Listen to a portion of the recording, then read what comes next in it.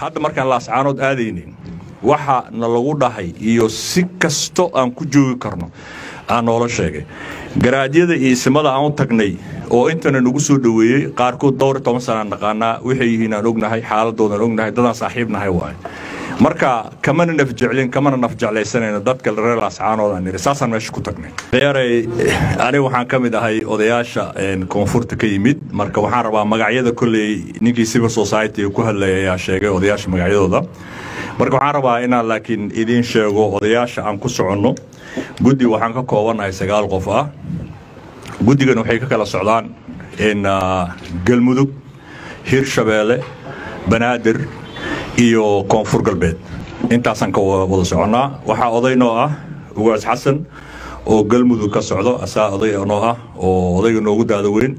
Malaaq maxamed yacquub oo asna koonfur galbeed ka socda wawar maxamed oo asna hirshabeelle ka socda ugaas maxamuud oo aan u doorano guddoomiyaheena oo asna hirshabeelle iyo banaadir ka socda intana waxaa fadhiyo ugaas cabdiraxmaan oo asna ka socda hirshabeelle ka socda iyo waxaa kaloo nala socoto saddex qof oo annaga maaragtay nin tahliil la yidhaahdo oo ugaaska la dhashay maxamedna la dhaho ugaas xasan uu dhalay iyo xasanna la dhaho ugaas maxamuud xaali ugaas xogayntiisa ah iyo anoo suldaan warsame la yidhaahdo oo ka socda koonfur galbeed.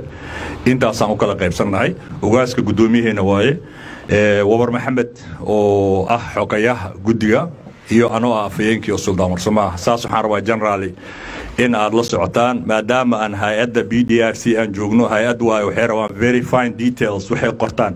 Ee sheegaanay rabaan. Saasaan horta inkugu sheegay. Horta saas ogaada.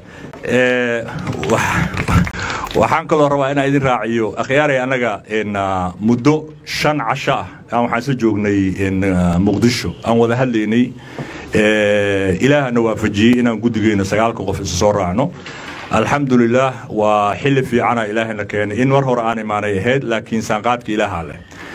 Waxaan u soconnona waxaa waaye suldaan mustafa sheegay kheyr allaha siiyo. Waxaan u soconna waxaa waaye dadka ilmaheenna owlaadeenna walaalaheenna labada dhinac oo xagga dhibka ku gaaray wiilasha ku baaba'ay in dhiigooda la joojiyo.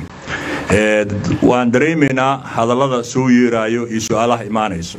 Laakiin waxaan u soconnaa hadda annaga waxay ahayd keliya in aan xog waraysi u imaano aragno meeshuu dhibka ka dhacay xaaladeeda aan qiimeyno kadibna aan baxno dhanka kale aan tagno. Annagoo odayaal soomaaliyeed ah hal waxna waan ka saarna meesha. Wax siyaasad la yidhaahdo inaanan ka hadlin siyaasi aan la fadhiisan siyaasi aan kala hadlin ishuga siyaasadda dhan aan iska dhignay. Keliya waxaan danaynaynaa hadduu ilaah idhaahdo inuu ilaahayna waafajiyo ramadaanka fadligiisana ilaahay naga aqbalo. In meeshaas dagaalka ka socdo ummaddaas masaakiinta ku baabees in dagaalkaas la joojiyo dhiiggaas muslimka daadanaya la joojiyo. Taasaan horta u soconnaa ilaahana ka baryana inuu ilaahay nala galo ilaahayna aqbal ka dhigo ramadaanka fadligiisa marka hadalka ma raba inaan ku sii dheeraado annaga miishinkeena aan u soconno kaas waay. Dad badan ayaa jiro social mediaha wax kasta sheegaayo. Miishinka aan u soconnona inuu yahay mission impossible waan ognahay. Laakiin xag ilaahay wax kasta ka hirgalaan. Marka ilaahan ka baryanaa inuu ilaahay noo fududeeyo annagana waxay noo tahay sharafi karaamay noo tahay. Hadda markaan laascaanood aadaynin waxa na lagu dhahay iyo si kasto aan ku joogi karno aan noola sheegay garaadyada iyo isimada aan u tagnay oo intana nagu soo dhoweeyey qaarkood dhowr toban sanaan naqaanaa waxay yihiin aan ognahay xaaladoodan ognahay dadaan saaxiibnahay waaye marka kamana nafjeclin kamana nafjeclaysanayno dadka reer laascaanood aan niri saasaan meesha ku tagnay. Marka waxaan u baahannahay akhyaaray kheyr allah idin siiyo qof kastoo muslim ah ha ka shaqeeyo suluxo ha ka shaqeeya nabadda. Ha la ogaado adduunkan safaraa lagu yahay qabrigaasna cid kuula gelayso ma laha puntland aan ka imid iyo koonfur galbeed aan ka imid iyo markaa godka gasha adiga camalkaaga waayo. Qof kastoo bini aadan ah quluubta ilaah daalacanayo camalka saalaxa ha laga shaqeeya nabadda sidii deegaanka iyo dalka soomaalida ilaahay nabad noogu dhigi lahaa. Marka intaas hadal ku soo koobi lahaa ma raba inaan sii dheereeyo. Kheyr allah idiin siiyo waxaan ugu mahad hay'adda b d r c afurkan qiimaha leh ajir xasana allah idinka siiyo. Idinkana aad iyo aad u mahadsantihin asalaamu calaykum waraxmatullahi barakatu